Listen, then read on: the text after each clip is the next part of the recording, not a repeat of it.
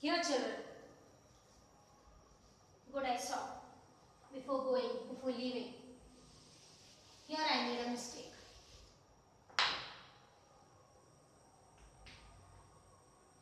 This is 38. 38 by 15. So answer is 38 by 15, not 6 by 5.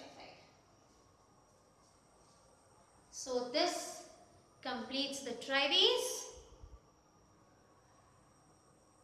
Rest we are going to continue tomorrow.